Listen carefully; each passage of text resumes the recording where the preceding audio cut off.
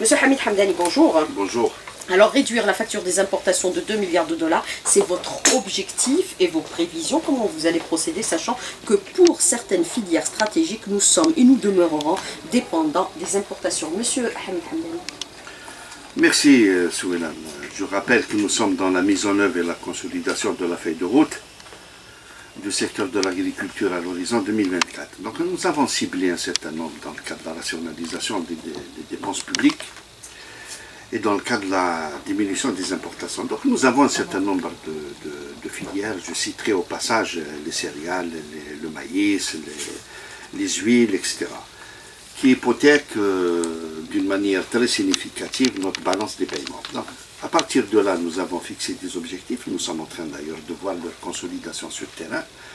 Ces objectifs sont selon les filières et selon les, produits, pour dire nous, nous ambitionnons de réduire ou de, produire, plus exactement euh, euh, pour le maïs par exemple, à l'horizon 2024 de 30-40% euh, de nos besoins, de, de, gagner la bataille du blé dur. Nous pouvons avoir notre autonomie du blé dur, de réduire euh, significativement euh, l'importation des huiles. Pour preuve, nous avons lancé une des filières oléagineuses, à savoir le colza, qui commence à donner. Donc nous sommes en plein dans la feuille de route, voire même avec une avance pour sa mise en œuvre.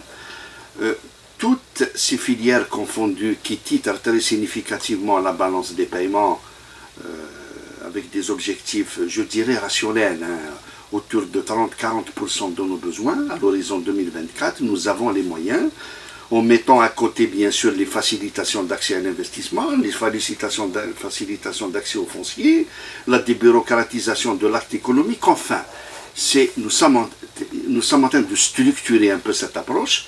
Donc, au moyen, autour de 40-50%, entre 30 et 40-50% selon les filières à l'horizon 2024 avec une batterie de mesures d'accompagnement, et c'est ça le but de la feuille de route. Nous ambitionnons effectivement, quand on évalue tout ce gain, autour de 2 milliards de dollars à l'horizon 2024, et je rappelle, pour cette année, nous en sommes à plus de 400 millions de dollars déjà de gains. Mais est-ce que la contrainte de l'eau n'est pas aujourd'hui compromettante pour certaines cultures, notamment ces cultures que vous avez citées, Monsieur Hamid Hamdani? Il faut savoir que nous avons travaillé euh, très longuement avec, euh, avec la ZAL, avec les, institutions techniques, avec l'INSID. Nous avons déterminé un potentiel foncier. Nous avons déterminé aussi le potentiel hydrique. À côté de cela, et dans le cadre de l'investissement, à savoir la création de l'audace, nous avons même mis en œuvre un cahier des charges. Lequel cahier des charges détermine avec exactitude la rationalisation de l'utilisation de la ressource hydrique. Donc, vous savez, nous avons euh, on a déterminé autour de plus de 2 900 000 hectares au niveau du sud. Nous avons dit un premier portefeuille potentiel, donc sol, eau, autour de 500 000 hectares. 500 000 hectares, si on arrive à mettre en valeur les 500 000 hectares dans les 4, 5, 6 ans à venir, c'est un peu ça le but de la feuille de route. Et je rappelle au passage déjà, euh, et vous l'avez bien vu avec nous, ça fait deux jours, un premier portefeuille de près de 200 000 hectares et un indicatif de l'audace, il y a de l'engouement, il y a de l'investissement. Je pense que cette question de ressources hydriques, avec sa rarification, mais aussi, il faut, euh, nous avons fait en sorte de, l'utiliser rationnellement, d'être dans une agriculture euh, durable, intelligente. Enfin, c'est une question qui est prise en charge en tous les cas. Mais vous avez parlé aussi et cité M. Euh, Hamid Hamdani, une batterie de mesures d'accompagnement et de facilitation pour l'accès au financement. Comment vous allez euh, faire et procéder aujourd'hui, euh, Monsieur le ministre, sachant que nous sommes dans une situation de rarification des ressources financières? Basculer le montant de l'importation vers la production? Non, je corrige peut-être au passage. J'ai dit des facilitations d'accès au foncier. Ça, c'est l'aspect fondamental. L'accès au foncier, vous l'avez vu, avec la batterie de mesures, notamment la plateforme numérique, la création d'un guichet unique, la création de l'audace, enfin, toutes ces facilitations commencent à donner réellement des résultats de l'aveu même des investisseurs. Hein, Ce n'est pas l'administration qui le dit. Il y a, on a eu même affaire à des investisseurs qui sont venus des États-Unis, qui ont des Algériens qui vivent à l'étranger, qui ont eu la possibilité d'accéder à leur assiette foncière pour réaliser leurs projets en Algérie, chez eux. Et ça, tout en utilisant uniquement la plateforme numérique et ils étaient là, ils ont eu leur, attestation au bout d'un mois, un mois et demi de traitement dossier. Je pense que c'est une avancée, c'est une facilitation qui tranquillise un peu les investisseurs et qui les sécurise. Je dirais au passage aussi, c'est que la plupart de ces projets, nous en avons un peu une cinquantaine de projets, croyez-moi que c'est sur investissement fonds propres. Donc il faut le dire aussi. Hein. C'est des, des, projets qui seront réalisés au niveau de Sud. Je dirais aussi que toutes les, orientations ont été données d'ailleurs au niveau du gouvernement pour les banques pour faciliter l'accès au crédit. Donc donner des facilitations sur le taux d'intérêt, sur la durée de remboursement, sur les rééchelonnements, etc. Doubler de tout ça, nous avons des fonds au niveau des secteurs.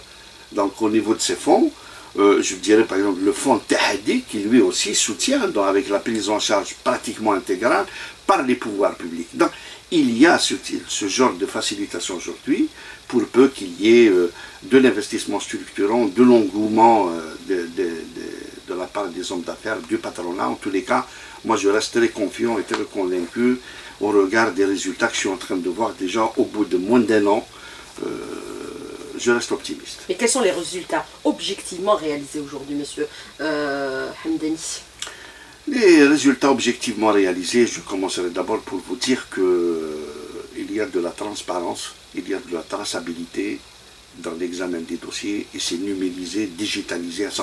Je pense que moi je préfère commencer par ça. dans un passé très récent, pour accéder à un foncier, il vous fallait deux ans et encore avec le dépôt de dossier, avec de la bureaucratie, avec des papiers aujourd'hui. Au bout d'un mois, un mois et demi, c'est une réalité euh, qu'on ne peut pas cacher. Ça, c'est euh, c'est de l'aveu des investisseurs eux-mêmes. Donc, au bout d'un mois, un mois et demi, les dossiers sont traités. Et ceux qui sont éligibles et qui répondent aux conditions, pardon, qui répondent aux conditions, ont eu leur attestation. Donc, le premier résultat aujourd'hui et que je dirais euh, qui est un résultat quand même qui reste un peu frileux pour moi.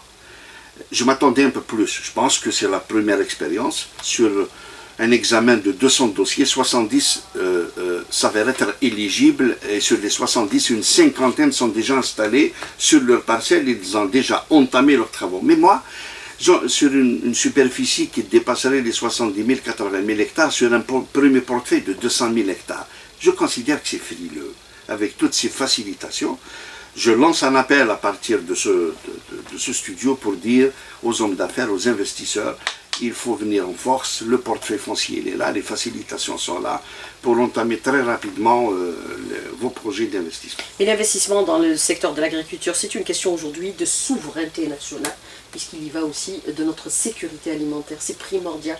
Absolument. Ne plus rester dépendant des conteneurs de l'étranger. En tous les cas, sachez que tous les programmes que mène le gouvernement, tous les programmes que met en œuvre le secteur de l'agriculture, je pense qu'ils ont un seul corollaire ou un dénominateur commun, si ce n'est celui de réduire et de réduire très significativement euh, nos importations et d'équilibrer un tant soit peu notre balance des paiements. C'est ça le plus important. Et tous nos programmes, si aujourd'hui je dis toutes les facilitations, toutes les dispositions qui sont prises sur les engrais, sur un certain nombre de soutiens, particulièrement sur les filières stratégiques, c'est pour donner encore de, de, je dirais, du tonus un peu à ces filières, sécuriser ces, ces agriculteurs. Il y en aura encore d'autres dispositions qui seront prises. Je parlerai de la sécurisation des agriculteurs, je parlerai des crédits, euh, mutuels ruraux, je parlerai de la couverture sociale des agriculteurs. C'est tout un environnement autour de l'acte agricole autour de l'acte économique agricole dont le but principal, le seul corollaire étant, c'est de produire, de produire fortement et de réduire nos importations et d'assurer davantage, de consolider davantage notre sécurité alimentaire. Mais cet investissement est ouvert aujourd'hui aux, étrangers qui souhaitent investir dans les, certaines filières stratégiques, Monsieur Hamid Hamdani Ou alors cette éventualité est totalement écartée pour l'instant Non, c'est ouvert. Euh, dans le cadre de l'application de la loi de la République. Ça s'est ouvert, on peut créer une société de droit algérien et de s'inscrire euh, pleinement dans l'investissement. Ça, c'est clair. Hein, pas de... Alors, euh, malgré la forte disponibilité des produits pendant toute cette période, on l'a vu, rien n'a manqué sur euh, nos étals, il ne demeure pas moins que certaines cultures font l'objet d'une grande spéculation. Leurs prix sont passés du simple au double, voire même le triple. Le président de la République a averti que l'État frappera d'une main de fer 30 ans d'emprisonnement pour les auteurs de ces pratiques illicites qui sont la spéculation. Mais quelle explication donner à ce phénomène, puisqu'au même titre que le commerce, vous êtes instruit d'agir de réagir vite qu'allez-vous faire exactement, Monsieur Hamid Hamdani, sachant aussi que le marché doit évoluer aussi dans une atmosphère spéculative? Enfin, je vous remercie pour cette question qui fait l'objet d'une question d'actualité ces derniers temps. Bon, il faut dire, je dirais au passage qu'il y a une coordination euh, avec le ministère du Commerce. Vous avez institué une commission mixte Nous avons institué une commission mixte qui travaille aussi bien au niveau central qu'au niveau local, pour essayer de suivre un peu ce phénomène euh, tout à fait bizarre et tout à fait nouveau pour nous. Hein. C'est un phénomène que nous n'avons pas vu de par le passé, du moins de cette ampleur. Moi, je dirais tout simplement, pour être honnête et franc avec vous, de qu'il y a divisé, il est très certainement divisé à caractère politique qui sont derrière. On ne peut pas euh, prétendre à une spéculation de ce type en 48 heures, un prix qui double ou qui triple, tout en regardant à côté que la disponibilité n'a pas été impactée nullement. Et je dirais aussi au passage, il ne faut pas oublier que nous avons vécu une année, l'agriculture a vécu une année très difficile, une année de sécheresse et d'une véritable sécheresse. C'est vrai que ça a impacté les productions, autour de 5 à 6% et nous l'avons dit. Mais impacter une production à 5-6% ce n'est pas ça. Ce n'est pas ça qui impacterait, ou ce n'est pas ça qui induirait une, augmentation de prix de ce type. Pour preuve, il y a eu des... Donc la commission mixte a eu à travailler sur le terrain. Nous avons, il a été découvert, il a été prouvé qu'il y a des, des stocks illicites. Mais je dirais aussi au passage que cette opération mérite d'être menée, mais mérite d'être menée très sereinement. C'est d'attaquer le spéculateur lui-même, c'est d'attaquer le phénomène de la spéculation, mais une spéculation, euh, disons, qui a des, des objectifs inavoués, qui a des objectifs de déstabilisation peut-être de l'ordre public. Cette forme de spéculation, elle est condamnable contre le marché demandeur d'un produit quelconque, en dehors des circuits officiels de régulation et de stockage, il n'est pas question de le stocker contre le, marché demandeur. Encore mieux, quand on stocke et on ne déclare pas. il y a d'un côté des stocks publics de régulation, des stocks que nous connaissons, que nous travaillons chaque année avec le, le, le, secteur privé et qui restent des partenaires pour les pouvoirs publics, mais il y a aussi des spéculateurs ou des spéculations à objectif inavoué. Cela, c'est des actes qui sont hautement condamnables et qui touchent à l'ordre public et à l'économie nationale. Mais qu'est-ce qui justifie aujourd'hui que le prix, par exemple, de la pomme de terre, où nous sommes un peu excédentaires, où nous envisageons même d'aller vers de fortes exportations, ce fut le cas il y a pratiquement un an vers la Russie et d'autres pays, fasse l'objet d'autant de spéculations, sachant que nous produisons l'équivalent, si je me trompe sur le chiffre, vous me corrigez monsieur le ministre, l'équivalent de 5 millions euh, de quintaux par an. C'est exactement le chiffre. Nous avons fait une avancée. 5 millions de, tonnes, de tonnes par an. Et nous avons fait une avancée spectaculaire ces dernières années. Mais qu'est-ce qui fait que le prix est triplé ben, écoutez, euh, quand je dis une spéculation inavouée qui a des objectifs à caractère de déstabilisation et à caractère politique. Mais il y a les stocks de l'État avec le Sirpalac, monsieur oui, J'y arrive, j'y arrive. Euh, pensez-vous qu'on pourrait faire cette déstabilisation en touchant un produit qui ne titre pas sur le, le, qui, n'a pas un poids dans le, soit sur le marché, soit dans le... C'est un produit phare et stratégique. Donc on touche c'est euh, vous rajoutez de à mon moulin. On touche réellement des produits qui ont un poids et qui pourraient, eux, euh, euh, être l'objet de déstabilisation quelconque. Mais quelles sont les quantités disponibles actuellement de la production Non, le, Est-ce qu'elles sont en deçà de ce qu'on a l'habitude d'avoir en termes de production, les 5 millions de tonnes non, non, non, je vous dis, c'est pas 4 à 5% Parce que le commerce aussi, c'est l'offre et la demande. Oui, mais c'est pas 5 à 5. Les 5, les 5 millions de tonnes, nous sommes dans l'excédent il faut, il faut quand même se rappeler, on ne peut pas être excédentaire et puis au bout de six mois après, on est déficitaire. Possible. La sécheresse a impacté très sérieusement, oui, mais quand on a évalué un peu l'impact de la sécheresse, il tourne autour de 4, 5, voire 6% dans le pire des cas. 6%, c'est pas ça qui impacte. Au moment où je vous parle, nous avons de la pomme de terre qui reste encore, nous sommes à la fin du cycle de la saison, au moment où je vous parle, il y a encore sous terre Enfin, on est encore en train d'arracher de la pomme de terre pour l'équivalent d'une vingtaine de jours de consommation, pour vous dire. Et euh, sans parler des stocks, c'est pas là, sans parler des stocks qui interviennent de sécurité, mais eux, ils interviennent pour un peu équilibrer les périodes de soudure. Nous allons rentrer dans une période soudure. C'est vrai qu'à partir d'octobre, généralement, euh, septembre-octobre, la, pomme de terre prend, prend un prix. Bon, augmente un peu, mais pas de cette façon. Pas de cette façon.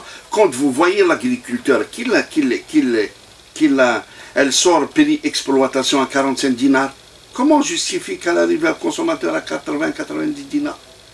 Dans le, pire des cas. Et ça, c'est des, fiches d'évaluation et c'est des prix à la production qui sont connus. Donc, au pire des cas, en période de, comme celle-là, donc quand on sort de la période de, forte production, elle était à 50 dinars. Ça, c'est le pire entre 45 et 50 dinars chez le producteur. il n'y a pas de raison qu'elle arrive au niveau du consommateur à un prix, voire même par moment qui double. Alors, M. Hamid Hamdani, sur la question euh, de la spéculation, la dernière, pour un peu euh, clore totalement ce dossier, est-ce qu'on peut considérer que vous allez agir? Est-ce qu'il va falloir aussi mettre en place des mécanismes de traçabilité de la production et son cheminement vers les marchés? Puisque même le ministre du Commerce, il a pratiquement proposé la vente directe qui s'avère être dans les faits impossible. Parce qu'on va casser toute une chaîne. Écoutez, au-delà des aspects de traçabilité, effectivement, qui, euh, qui ont ont un rôle. Moi, je dirais en tant que ministre de l'Agriculture, et j'appelle aux agriculteurs de continuer leur effort et de continuer à produire. De continuer à produire de qualité et à produire fortement, comme ils ont l'habitude de le faire et continuent de le faire. L'agriculture a relevé un défi, un défi qui est, Dieu merci, et ça c'est une fierté, non pas pour le secteur, mais pour le pays. Ça fait moins de 15 jours la FAO, donc euh, euh, relevant des Nations Unies, classe l'Algérie à côté des grands pays de ce monde. Dans la et zone le seul bleue. pays dans la zone bleue et le seul pays africain et du monde arabe à avoir consolidé sa sécurité alimentaire. et ça, c'est un résultat qui n'est pas venu comme ça. Il est venu grâce à l'effort des agriculteurs, grâce à l'effort des pouvoirs publics qui ont, mis en place des mécanismes et des dispositifs ça fait de cela quelques années. Aujourd'hui, c'est un résultat euh, indéniable. Continuer sur cet effort, continuer sur cet élan, tout en continuant bien sûr à mettre en place des systèmes et des mécanismes de traçabilité, mais encore mieux, des mécanismes d'organisation, d'organisation de marché, d'organisation des circuits de distribution, d'organisation de, de contrôle, de contrôle permanent et durable de la spéculation. Ça oui, voilà à mon avis à mon avis, ce qu'il faut faire, et c'est l'objectif de la politique du gouvernement, et c'est l'objectif de la coordination intersectorielle que nous venons de mettre en place. En les assurant bien sûr de toute votre aide, votre soutien et votre coopération totale et global, monsieur Hamid Hamdani, parce que les investisseurs ont besoin aussi d'être écoutés, d'être suivis et d'être accompagnés. En tous les cas, euh, pour, pour l'accompagnement... L'investissement a besoin aussi de sérénité. En tous les cas, pour l'accompagnement et, la présence avec les investisseurs, je, je, je n'en fais une question fondamentale au niveau du ministère de l'Agriculture et j'en ai fait moi-même et pour ma personne une question fondamentale. C'est pas manque d'avoir fait ça tout au long de l'année que je viens de passer au secteur de l'agriculture en tant que ministre, tout le patronat, tous les investisseurs, les portes étaient ouvertes, nous avons échangé, nous avons mis en place des programmes, des approches plutôt, des dispositifs dans un cadre de concertation parfaite, pleine et entière, et de l'aveu même du patronat et de beaucoup d'investisseurs, et nous, voyons le résultat aujourd'hui.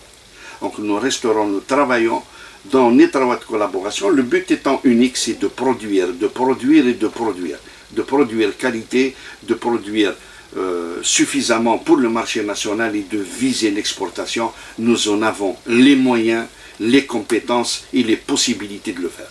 Mais tout le monde aujourd'hui atteste de la réactivité du secteur euh, en répondant en, dans euh, heure et en rapidité pour les investisseurs. Mais euh, parallèlement à cela, est-ce qu'il va falloir aussi aller aborder un autre chapitre qui est extrêmement important également pour le secteur de l'agriculture, à savoir la modernisation des moyens de production? Nous restons encore, Monsieur Hamid Hamdani, sur une agriculture relativement artisanale, avec des taux de rendement inférieurs aux capacités qui pourraient être réalisées ben, Je vous remercie encore pour cette question fondamentale. Effectivement, c'est un challenge. Vous parlez de maintenant numérisation, il faut aller aussi vers cette modernité. Oui, oui, oui c'est un challenge. Donc, euh, au ministère de l'Agriculture, euh, comme je, je, vous l'ai dit, effectivement, nous avons tout l'axe de numérisation, nous avons tout l'axe de facilitation, nous avons, mais il y a aussi la recherche, il y a aussi le développement, il y a aussi la formation.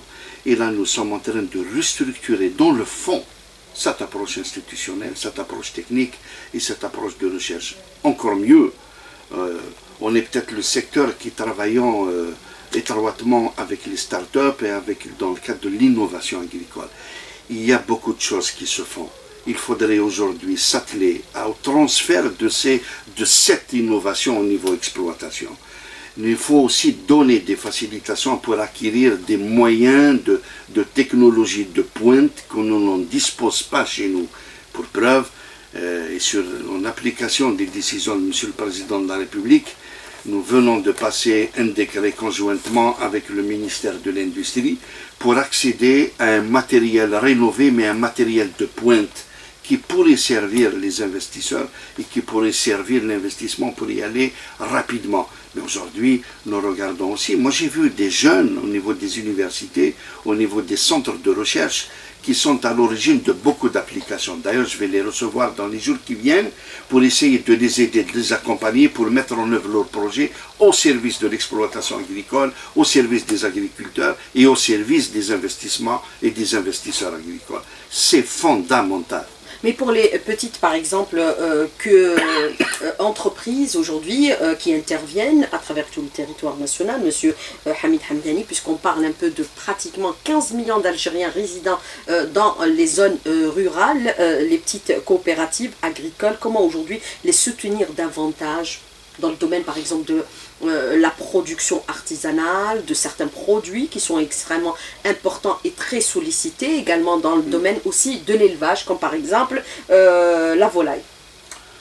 Donc, je rappelle que le dispositif le développement rural, vous ne l'oubliez pas aujourd'hui, monsieur.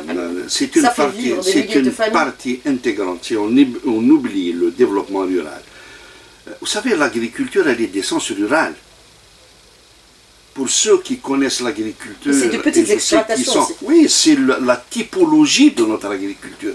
C'est vrai que nous avons tendance, il faut développer l'agriculture industrielle à grande échelle, une agriculture à caractère économique. Mais il ne faut pas oublier les petites exploitations. Mais notre essence, c'est les moyennes et petites exploitations agricoles qui nous assurent non seulement la stabilité des espaces, mais qui nous assurent aussi le développement harmonieux, équilibré des espaces ruraux et euh, la, fixation aussi des Absolument, c'est dans ce sens que je, le disais. Donc pour revenir aux coopératives, nous avons introduit, c'est pour ça que je vous ai dit tout à l'heure, l'agriculture est en train de se restructurer sur le plan réglementaire, sur le plan législatif, sur le plan de l'approche. Et pour preuve, et vous venez de citer encore un cas, et je vous remercie au passage de l'avoir fait, le dossier des coopératives. On ne peut pas, on ne peut pas développer une agriculture en, faisant fonctionner directement les personnes. Donc ça, c'est pas possible. Nous avons introduit ce texte de 96, nous l'avons modifié, révolutionné même, de telle sorte à le débureaucratiser. Nous avons donné des facilitations. Aujourd'hui, je vois la mise en œuvre de certaines coopératives au niveau de certains espaces. Je cite au passage une coopérative qui vient d'être créée au niveau de Bouhmama. Bouhmama pour la production de pommes. Et le grand problème de Bouhmama jusqu'à un passé très récent était au moment de la production, c'était la commercialisation, les circuits de distribution et surtout le stockage. Cette coopérative, nous lui avons donné, dans le cadre de ce nouveau texte, toutes ses fonctions. Nous avons été plus loin. Nous avons catégorisé quatre types de coopératives, jusqu'à la coopérative familiale, pour vous dire que nous prenons en compte cette, spécificité de notre agriculture rurale. C'est pour ça que je pense que l'agriculture, il faut être un peu patient. On est en train de mettre en place les outils, on est en train de restructurer complètement la machine pour qu'elle s'adapte aux défis de maintenant, pour qu'elle s'adapte aux enjeux de demain. nous avons restructuré, nous continuons encore à le faire et en parallèle, nous développons une agriculture intelligente, nous encourageons d'y aller vers l'agriculture intelligente, mais aussi sur le plan économique, et qui reste un axe fondamental en tous les cas pour nous, en tous les cas pour moi, comme ministre de l'Agriculture, qui est celui d'engager les filières stratégiques dans le cadre de l'investissement. Et je cite au passage que cette année, nous aurons à lancer un programme des Nous aurons à donner des facilitations et des mesures incitatives pour les céréales, notamment le blé dur. Mais à côté, euh, nous avons donné des facilitations et je viens encore de les revoir au niveau du ministère de l'Agriculture pour l'irrigation, notamment l'irrigation d'appoint. Donc, toute cette batterie de mesures qui viendraient accompagner pour la deuxième année cet élan structurel et de restructuration de l'agriculture, il va donner ses résultats. Nous avons la restructuration des institutions techniques, nous avons la restructuration de l'administration agricole, nous avons la restructuration profonde, urgente et entière des offices et des groupes économiques. On ne peut pas continuer à fonctionner comme ça. Mais tout ça, c'est un chantier qui est ouvert. Parce que l'agriculture, il faut être patient, c'est tous les secteurs qui travaillent conjointement avec elle. Oui, mais aussi l'agriculture, c'est l'équivalent de 10 milliards de dollars annuellement d'importation. C'est vous touchez à de gros intérêts aujourd'hui, monsieur euh, Hamid Hamdani. Il faut dire les choses franchement, vous êtes habitué à un dialogue de franchise. On parle aujourd'hui de la production du colza et de la betterave sucrière. Est-ce qu'on peut considérer qu'il y a des lobbies, des volontés de compromettre certaines productions au profit de l'importation? Pour être franc avec vous, on aura toujours ça. Nous, sommes, moi je suis de ceux qui ont, qui, qui, qui, qui, ont dit, qui diront toujours, en tous les cas, que c'est vrai que c'est, faudrait pas permettre que les prix euh, euh, prennent un coup comme ça d'une manière sauvage sur un certain nombre de produits stratégiques. Mais en tous les cas, je dirais, sur les produits de, de maraîchers, les fruits et légumes, c'est une bataille de gagner, gagner définitivement. Par contre, il ne faut pas rester piégé autour de ça. Par contre, c'est la bataille qui reste à gagner, et c'est la bataille la plus importante, et nous n'avons pas eu un regard sérieux ces dernières années pour ces cultures-là qui titrent aujourd'hui, qui hypothèquent très sérieusement notre balance des paiements. Effectivement, quand vous touchez, vous venez de le dire, autour de 10 milliards ou 6 milliards, en tous les cas, les chiffres, ça dépend sous quelle langue nous le regardons, mais en tous les cas, c'est sérieux. C'est sérieux pour les oléagineux, c'est sérieux pour les blés, c'est sérieux pour le lait, et on ne peut pas continuer à hypothéquer. Il nous reste cette marge de 30% à assurer. Donc notre feuille de route, elle a deux fondements. C'est l'équilibre des, dépenses publiques, c'est la rationalisation de nos importations et c'est l'investissement pour produire ce qui nous manque à hauteur de 30-40%, je l'ai dit au début. Effectivement, ça de, très certainement, ça va peut-être déranger certains intérêts. Mais c'est ça l'économie. C'est aussi ça l'économie. L'économie, c'est pas de se dire nous allons nous allons faire au risque d'eux ou nous n'allons pas faire parce que. Non, non, l'économie c'est des ratios, c'est de l'analytique. Et quand il faut y aller, il faut y aller. Aujourd'hui, nous avons les moyens de diminuer pour un certain nombre de produits. Nous avons les moyens de produire 30, 40 ou 50% de nos besoins. Je pense que nous avons fait une batterie de mesures pour le faire. Et ça, c'est dans l'intérêt de notre pays, c'est dans l'intérêt de l'économie nationale. Je cite au passage, et ça, ça me tient à cœur de le dire. Aujourd'hui, le blé dur, il est passé d'une moyenne de 230 dollars, 250 dollars à plus de 600 dollars. Si vous le trouvez. Aujourd'hui, nous sommes en plein dans les changements. Qui a quand Absolument. Aujourd'hui, nous sommes en plein dans les changements climatiques. Donc, c'est des tous les pays en souffrent. Aujourd'hui, il y a moins de, disponibilité sur le marché avec une, avec une demande, moins d'offres, avec une demande énorme, venant même des pays qui n'ont pas pour tradition d'être de, des pays céréaliers ou de consommateurs de céréales. Donc si aujourd'hui nous regardons tout ce topo, toute cette matrice, et que nous n'agissons pas, je pense que l'Algérie que nous voulons construire, c'est exactement le contraire qu'il faut faire. Et c'est une question aussi de souveraineté euh, nationale, puisqu'on a vu qu'au début de cette pandémie du Covid-19, la Russie a totalement arrêté la vente de sang Alors vous avez euh, plusieurs questions aujourd'hui, euh, Monsieur Hamid Hamdani. Alors certes, on, reconnaît que de grands chantiers sont entrepris au sein de votre département ministériel pour consolider aujourd'hui la sécurité alimentaire du pays. Beaucoup de choses ont été faites avec la disponibilité de produits. Néanmoins, dans le domaine des production animale, beaucoup reste à faire alors que nous avons un patrimoine génétique inestimable dans les filières ovines, caprines et camelins.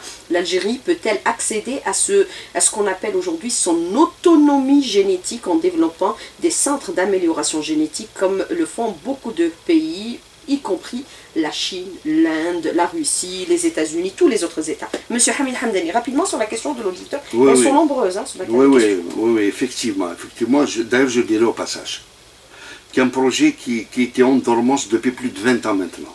Inch'Allah, dans les jours qui viennent, il va être relancé, c'est celui de la Banque des Jeunes.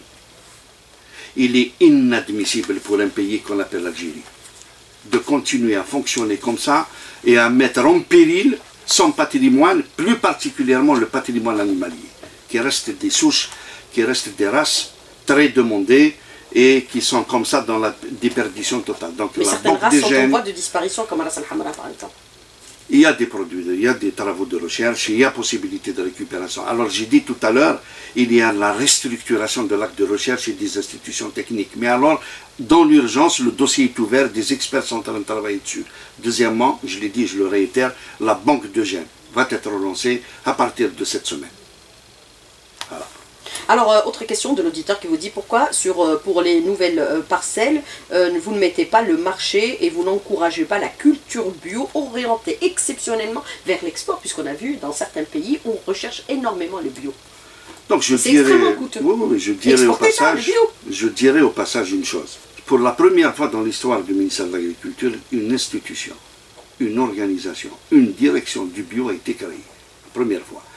Ça fait moins d'un an, ça fait à peu près un an ils sont en train de travailler sur l'arsenal juridique et réglementaire. On ne peut pas aller dans le bio comme ça. Le bio, c'est une pratique, c'est une technique. Il faut faire la part des choses entre les produits euh, dits, peut-être naturels et les produits biologiques. Le biologique étant, bien sûr, un processus. Nous avons cette chance, effectivement, nous avons ce moyen. Donc, ils sont en train, nous sommes en train de travailler sur les aspects juridiques et réglementaires. Et je remercie celui qui a posé cette question si nous devrions occuper des niches dans les grands pays aujourd'hui, c'est très certainement avec nos produits terroirs et avec nos produits biologiques. Nous en sommes très conscients et c'est encore un axe de restructuration et de consolidation du secteur de l'agriculture pour lequel je m'y attelle personnellement. Mais pour les zones qui ont subi beaucoup de pertes aujourd'hui, par rapport bien sûr à ce qu'on a vécu cet été, qui a été extrêmement meurtrier par rapport aux feux de forêt, notamment dans certaines localités comme Tizi Ouzou, où beaucoup, par exemple, euh, d'exploitations agricoles ont perdu euh, leur production en termes, par exemple, d'oléiculture. Qu'est-ce que vous allez faire, monsieur euh, Hamid Hamdani? On sait qu'il y aura certainement un recul de la production. Comment les soutenir pour reprendre davantage la production aujourd'hui? D'abord, je rappelle, je rappelle euh, et je m'incline devant les, les, décès qui Et vous avez été très réactif hein, en termes d'indemnisation. Donc, je rappelle qu'effectivement, au bout de 15 jours, vous avez C'était des centaines et des milliers d'animaux qui ont transité par ces wilayas, pas uniquement Tizi Ouzou, ben, bien sûr Tizi Ouzou qui étant la wilaya la plus touchée, mais toutes les wilayas qui ont été concernées. Absolument. Donc au bout de 15 jours, voilà, et sur l'instruction de M. le Président de la République, qui nous avait donné ce temps parti pour intervenir et permettre la relance de l'activité agricole et intervenir auprès des populations de ces régions. Nous l'avons fait, les pouvoirs publics l'ont fait, le président de la République suivait ce dossier quotidiennement. Donc, alhamdoulilah, c'est un acte, un acte euh, réussi. Maintenant, euh, pas plus loin qu'avant-hier, j'ai réuni le comité national pour ceux qui sont euh, dans la perspective de préparer la campagne d'envergure nationale, c'est la campagne de reboisement. J'en ai fait moi-même plusieurs séances de travail en impliquant la société civile, les associations, et tous ceux qui touchent de loin ou de près à ces espaces. On parle d'une grande opération de reboisement le 21 octobre. Le 25. Le 25, voilà, vous corrigez, voilà. Voilà, le 25 octobre, Inch'Allah, il y aura Et qui sera lancé par le Premier ministre en personne. Inch'Allah, Inch'Allah. Donc ça sera une campagne. Mais cette campagne, elle va s'inscrire dans le temps. Et pour tous ceux qui ont eu des pertes sur l'arboriculture, au même titre que l'État a pris en charge tout ce qui est production animale, enfin, qu'il soit bovin, ovin ou caprin, l'État prendra en charge tout ce qui relève de l'arboriculture l'arboriculture. Mais j'attire l'attention qu'il y a des, euh, des considérants techniques. Parce qu'il y a des campagnes de sensibilisation. J'ai moi-même demandé des campagnes d'explication, de sensibilisation. Il n'est pas dit que, que, là où c'est brûlé, on replante tout de suite. Donc il faut laisser généralement et techniquement, les experts parlent d'un an mais rien ne nous empêche de planter là où ça, ça fait déjà l'objet de par le passé d'incendies, des espaces qui ne sont pas encore euh, plantés, et de permettre de laisser la régénération. On nous dit aujourd'hui que euh, notamment pour l'oliculture, le taux de régénération dans les années à venir et à partir du printemps prochain dépasserait de très loin les 60-70%. Inch'Allah, ce sera le cas. En tous les cas, sinon, euh, reprendre les vergers olicoles ou les autres vergers, l'État les soutiendra pleinement et entièrement. Alors vous avez cette autre question de l'auditeur, c'est pour quand la restructuration des fermes pilotes censées être des pôles de recherche en agriculture? Monsieur Hamid Hamdani. le, dossier des fermes pilotes, il a eu déjà à connaître plusieurs restructurations. Et je le dis très franchement, la dernière restructuration des fermes pilotes, à l'exception de quelques-unes, moi en tant que ministre de l'Agriculture, je ne suis pas content de cette restructuration. Donc il y a aujourd'hui les fermes pilotes, c'est des espaces euh, et il faut les dédier aussi bien au partenariat, aussi bien à la production, mais aussi aux axes de recherche, mais dans un cadre de partenariat public-public ou dans un cadre de partenariat public-privé. Alors faut-il revenir au souk al-fallah, court-circuit, aujourd'hui, Monsieur Hamid Hamdani, comme ce fut le cas par le passé Est-ce que c'est possible ou impossible? Enfin, moi je préfère. Euh, aujourd'hui, les nouveaux circuits de commercialisation qui existent à travers le monde. Moi je préfère parler de l'organisation des circuits de distribution. Qu'on appellerait ça al-fallah, qu'on appellerait ça autrement, je pense que la question fondamentale, elle est dans l'organisation des circuits de distribution. Elle est dans l'organisation de nos marchés. C'est ça la question fondamentale. Est-ce qu'il faudrait soutenir aussi certaines filières qui sont en crise actuellement, comme par exemple la, euh, la, filière avicole, le poulet, Monsieur Hamid Hamdi? Il faut savoir qu'il y a toute une Là organisation. Aussi, le prix s'est envolé. Hein. Il y a toute une organisation. Même si le poulet ne s'envole pas. Hmm. Là aussi, vous avez toujours votre tous là, hein, donc vous nous laissez un peu répondre sur cette question-là. Je pense que pour l'aviculture, euh, et, nous avons toujours connu euh, que l'été euh, pose problème pour la mise en place des élevages. Mais il faut aussi comprendre une chose, pour la première fois aussi. Il y a de la rationalisation de l'importation des repos. Il y a de l'organisation au niveau du conseil, de l'aveu même du conseil interprofessionnel. Mais le monde a été surpris à partir du mois de mai passé, il ne faudrait pas être amnésique, le monde a été surpris par la maladie du H5N1 qui a eu à décimer très sérieusement et à impacter les repros qui soient chers ou qui soient pentes. Elle est, la filière est en train de reprendre. C'est vrai que nous avons passé ce vide parce que l'impact de cette maladie était direct sur la production des intrants, plus particulièrement l'intrant le plus important qui est le poussin. Donc, vous savez, je pense que nous n'avons pas été gâtés, combien même il y a eu de l'effort et du résultat au niveau. Il n'y a pas eu beaucoup de communication aussi, cette pandémie qui a touché un peu nous avons, euh, on n'en a pas beaucoup parlé. Non, non, on en a parlé. On ne donne pas des explications rationnelles non, aussi non, nous avons, nous avons communiqué à ceux qui voulaient bien nous entendre. Et de s'écarter un peu de la spéculation médiatique et de la spéculation verbale. Alors, M. Euh, Monsieur Hamid Hamdani, moi je voudrais revenir avec vous avec cette dernière question de l'auditeur qui vous dit aujourd'hui, nous allons faire certaines cultures aussi qui sont extrêmement importantes en termes d'exportation et euh, de revenus euh, en devises, comme par exemple ce, ce, producteur qui dit, moi je produis du safran et je ne trouve pas aujourd'hui de preneur. Le safran qui est extrêmement demandé et qui est extrêmement cher à travers le monde. Monsieur Hamid Hamdani pourrait être exporté et nous ramener beaucoup, beaucoup de devises. D'abord, je, le remercie. Je le On a besoin de devises. Oui, je le remercie parce que nous avons, nous avons lancé la filière du safran, mais qu'on me dise le safran, on ne peut pas le vendre. Euh, là, il faut voir, là, il faut voir. Oui, il est cher parce que c'est le safran. Parce que c'est le safran. Le vrai safran, oui. parce, que, ce qu'on a sur les marchés, c'est le faux safran. Voilà encore un axe, je pense, sur lequel il faut vraiment se concentrer, plus particulièrement sur l'axe d'organiser nos exportations, d'avoir un dispositif d'exportation, de, facilitation pour les exportateurs. Je pense que c'est un dossier qui est ouvert aussi au niveau du gouvernement, pour lequel il faut impérativement s'y atteler. La production, oui, nous avons beaucoup de niches, beaucoup de possibilités, beaucoup de potentialités à l'export. Faudrait-il que cette exportation aussi soit bien structurée, bien organisée, avec des facilitations et un mode d'intervention rapide. Alors dernière question, Monsieur Hamid Hamdani, moi je voulais revenir avec vous aussi sur l'impôt qui pourrait être imposé aux agriculteurs dans la loi de finances 2022. On parle par région et par localité, est-ce que ça ne pourrait pas compromettre également la production? Rapidement sur cette question, puisqu'on aura largement le temps d'en débattre plus tard. Moi, je dirais dans le projet de la loi de finances 2022. Je dirais, tout simplement l'impôt est un acte civique. Maintenant, quand il s'agit de l'agriculture, il a ses spécificités et je sais que le gouvernement en prendra en charge. Monsieur Hamid Hamdani, merci d'avoir répondu à nos questions et d'avoir été en direct avec nous ce matin dans le studio. Merci beaucoup, bonne journée et bon week-end et à bientôt. C'est moi, c'est moi, je vous remercie.